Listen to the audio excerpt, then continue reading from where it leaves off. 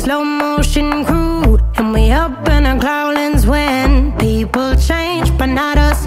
And we just chillin', kicking it, kissed by the sun. Could be soaked to the skin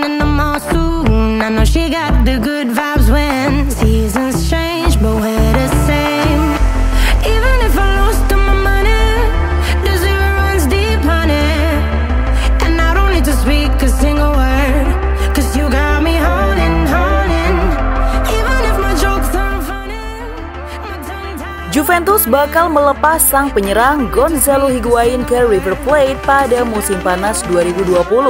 Selain mendapatkan sejumlah uang dari hasil penjualan tersebut, tim pelatih Juventus juga meminta penyerang River Plate di dalam kesepakatan.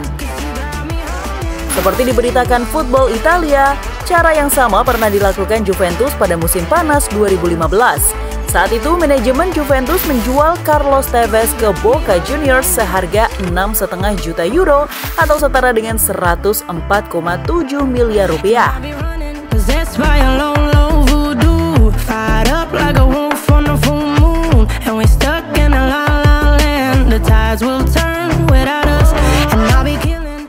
Hal yang sama juga diharapkan Juventus dari kesepakatan Higuain nantinya. Juventus menginginkan sosok Alvarez, penyerang yang saat ini baru berusia 20 tahun.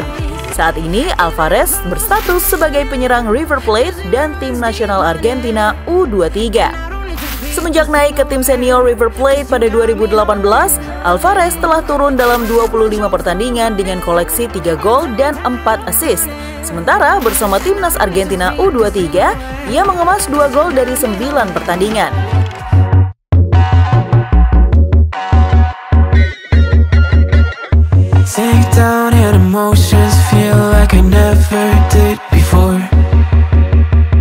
Live shows and spoken reels of the movie I ignored. Blue skies on a broken sea and I'm stuck up on the shore. I never thought you could see me, but you did. All I know is Alvarez digadang-gadang publik sepak bola sebagai penerus Del Piero. Cara mengolah si kulit bundar pun sudah tidak diragukan lagi. Dan berikut ini skills dari pemain The Next Del Piero yang akan gantikan Higuain di Juventus.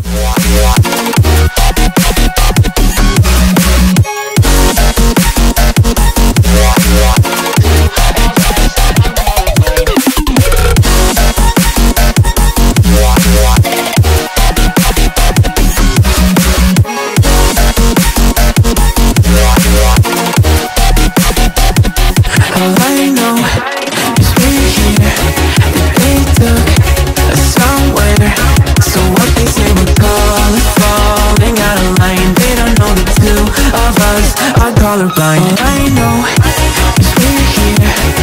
They took us somewhere.